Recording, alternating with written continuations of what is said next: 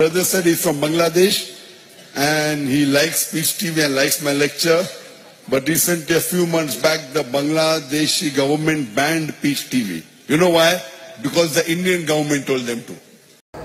জাকির নায়ককে দাওয়াত দিয়েছিলাম আপনি বাংলাদেশে যান না কেন তো রাগে ওরা উত্তর দিয়েছে বলছে কি জানেন বাংলাদেশে মুসলমান আছে কিন্তু ইসলাম নাই টিভিতে আর কি দেখেছেন ছোট্ট বাক্সের মধ্যে আর কি দেখবেন আপনি আমি দুবাই পিস টিভির শুটিংয়ে গিয়ে আমি একটা স্পষ্ট দেখেছি। তার কথার মধ্যে আল্লাহ যে জাদু দিয়েছেন, আল্লাহ আকবর। যুক্তি, এই ছোট্ট একটা মাথার সাথে চোদ্দ কোটি বেদাতি মিলে পারল না। আসসালামু আলাইকুম, সম্মানিত দর্শক, শ্রোতা মণ্ডলী, কেমন আছেন? আশা করি সবাই অনেক অনেক ভালো আছেন। দেশ কিংবা দেশের বাইরে দূর দূরান্ত থেকে যে বাজার এখন ঠিক এই মুহূর্তে আমার এই ভিডিওটা দেখছেন, তাদের সবাইকে আন্তরিক শুভেচ্ছা এবং অভিনন্দন। সম্মানিত দর্শক, ভিডিওটা খুবই গুরুত্বপূর্ণ, অত্যন্ত ইম্পর্টেন্ট তাই রিকোয়েস্ট থাকবে ধৈর্য সহকারে পুরো ভিডিওটা, সম্পূর্ণ ভিডিওটা না দেখে কোথাও যাবেন না কেউ। সম্মানিত দর্শক, শ্রোতা মণ্ডলী, ডাক্তার জাকির নায়ক বাংলাদেশ সম্পর্কে কিছু কথা বলেছে। প্রিয় দর্শক, শ্রোতা মণ্ডলী, কী বলেছে বাংলাদেশকে নিয়ে ডাক্তার জাকির নায়ক, সেটি আমি আপনাদেরকে জানাব। প্রিয় দর্শক শ্রোতা মণ্ডলী, ডাক্তার জাকির নায়ক বাংলাদেশকে কেন্দ্র করে বলেছে, বাংলাদেশে মুসলিম আছে কিন্তু ইসলাম নেই। কেন? কিসের জন্য এই কথা বলেছেন তিনি? কেন? কি কারণে? বাংলাদেশে নিমন্ত্রণ দেওয়ার জন্য বাংলাদেশে আসার আমন্ত্রণ দেওয়ার পরে, নিমন্ত্রণ দেওয়ার পরে, নিমন্ত্রণ পাওয়ার পর জাকির নায়ক এই কথা বলেছে। বাংলাদেশের ওপর কি জাকির নায়কের ক্ষোভ রয়েছে? প্রিয় দর্শক শ্রোতা মণ্ডলী, আমরা নোরা ফাতিয়েকে নিয়ে এসে নাচ গান করতে পারি। আমরা সানি লিওনিকে বাংলাদেশে আনতে পারি, কোনো বাধা নেই। কিন্তু জাকির নায়ককে যখন আনতে চাওয়া হয়েছিল, তখন কিন্তু নানা ধরনের প্রক্রিয়ায় বাধা প্রয়োগ করা হয়েছিল। সম্মানিত দর্শক শ্রোতা মণ্ডলী এই জন্যই হয়তো জাকির নায়ক কথা বলেছে যে, বাংলাদেশে মুসলিম আছে কিন্তু ইসলাম নেই। সম্মানিত দর্শক শ্রোতা মণ্ডলী, চলুন কথা না বাড়িয়ে জাকির নায়ক প্রসঙ্গে, জাকির নায়ক বাংলাদেশকে নিয়ে কি বলেছে আমরা শেখ ডাক্তার মুজাফফর বিন মহসিন হুজুরের মুখ থেকে শুনে আসি, তিনি কি বললেন, তারপরে বিস্তারিত আলোচনা করব। জাকির নায়ককে দাওয়াত দিয়েছিলাম। আপনি বাংলাদেশে যান না কেন? তো রাগে ওরা উত্তর দিয়েছে। বলছে কি জানেন? বাংলাদেশে মুসলমান আছে, কিন্তু ইসলাম নাই। টিভিতে আর কি দেখেছেন? ছোট্ট বাক্সের মধ্যে আর কি দেখবেন আপনি? আমি দুবাই পিস টিভির শুটিংয়ে গিয়ে আমি একটা স্পষ্ট দেখেছি। তার কথার মধ্যে আল্লাহ যে জাদু দিয়েছেন, আল্লাহ আকবার। যুক্তি এই ছোট্ট একটা মাথার সাথে চোদ্দ কোটি বেদাতি মিলে পারল না। যার কারণে ফতুয়া দিল জাকির নায়ক কাফের। ওর সুতা সুরা ফাতে পড়তে জানে না। ও টাই পরে ও প্যান্ট পরে ও শার্ট পরে। এই লোকটা দেশে আসলে খুব ক্ষতি হতো? কারা বিরোধিতা করেছে? কত খারাপের খারাপ? দুই হাজার দশ সালের একত্রিশ আগস্ট জাকির নায়কের দেশে আসার কথা ছিল। মাঝখানে এক বক্তব্যে বলেছি, তো বলছি, এটা তো কখনোদিন বলেননি। আমাদের, আমরা কে কোন হোটেলে থাকব? হোটেলে রুম নাম্বারও দেওয়া ছিল। আসবে শুটিং শুরু হবে বাংলাদেশে। কিন্তু বেদাতিরা এত খারাপের খারাপ। এরা সব স্টার জালসার দালাল আবার ঠিক বলছে।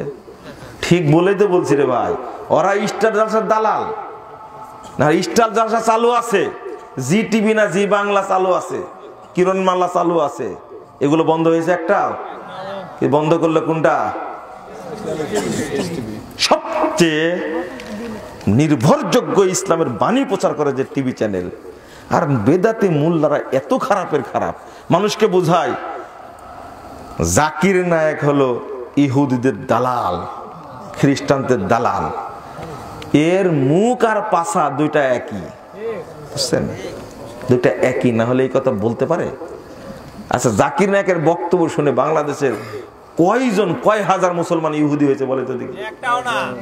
কোন রেকর্ড আছে? অথচ এক জাকির নায়কের বক্তব্য শুনে কত হিন্দু লাখ লাখ হিন্দু ইসলাম গ্রহণ করেছে। আলহামদুলিল্লাহ। হাজার হাজার। আমার সামনে আমি নিজে দেখলাম আল্লাহ আকবার। জাকির নায়কের বক্তব্য শুনে যে ইহুদিরা ইসলাম গ্রহণ করে। এটা স্বচক্ষে না দেখলে বুঝবেন না আপনারা। টিভিতে আর কি দেখেছেন? ছোট্ট বাক্সের মধ্যে আর কি দেখবেন আপনি? আমি দুবাই পিস টিভির শুটিংয়ে গিয়ে আমি একটা স্পষ্ট দেখেছি। তার কথার মধ্যে আল্লাহ যে জাদু দিয়েছেন, আল্লাহ আকবার। যুক্তি। এই ছোট্ট একটা মাথার সাথে চোদ্দ কোটি বেদাতি মিলে পারল না। যার কারণে ফতুয়া দিল জাকির নায়েক কাফের। ওর সুতা সুরা ফাতে পড়তে জানে না ও টাই পরে ও প্যান্ট পরে ও শার্ট পরে।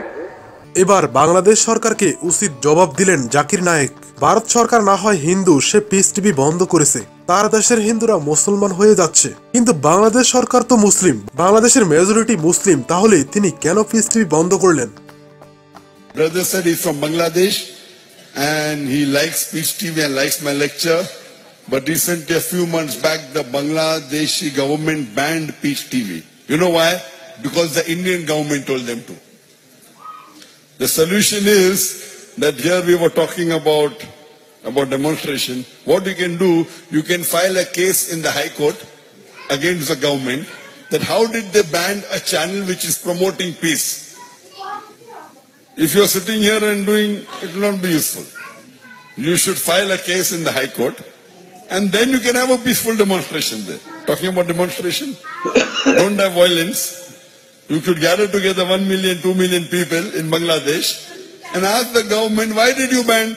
Just because the Indian government, a non-Muslim government, is telling a Muslim government to ban a peace TV which is promoting peace, fighting against terrorism. The Indian government is laying an allegation because they don't want peace to spread. They don't want Islam to spread. Because of peace TV and my lecture, there are tens of thousands and hundreds of thousands of non-Muslims in India becoming Muslim. So the government of India is afraid. So they're laying allegations, Zakir is spreading terrorism. And you understand? So what you should do, it's a majority Muslim country. You file a case in the High Court, not that you'll win, you'll lose, I know that. At least protest. Not that if you file the case you will win, I know that. The government never allows the opposite person to win, most of the government. But at least protest. At least you'll get sawab. Our beloved Prophet, he said, Muhammad Sallallahu Alaihi Wasallam, if you see something wrong, you stop it with your hand. If you cannot stop it with the hand, stop it with the tongue. If you cannot stop it with the tongue, at least curse in your heart. So the Bangladeshi I know, out of 16 million people on the Facebook, my fans, about four and a half million are from Bangladesh. ইতিপূর্বে বাংলাদেশ সরকারকে challenge দিয়ে আলোচিত ইসলামী ধর্মপ্রচারক জাকির নায়েক বলেছেন তিনি কখনোই কোনো সন্ত্রাসী কাজে উৎসাহ দেননি।